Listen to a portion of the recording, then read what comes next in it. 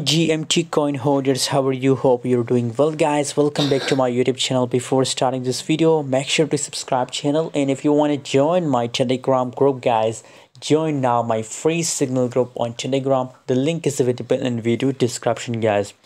Currently gmt coin pump very well. Yesterday the whole market you know due to the short moment of bitcoin uh, all market is looking bullish guys. Uh, classic coin luna and same here if we talk about gmt coin so gmt pump very well. You can see here from 29 cent the price pump to 34 cent. It's amazing and massive pump of uh, gmt coin. Yeah still if we talk about the volume volume is also looking bullish. 400 percent volume increase guys. 400 percent.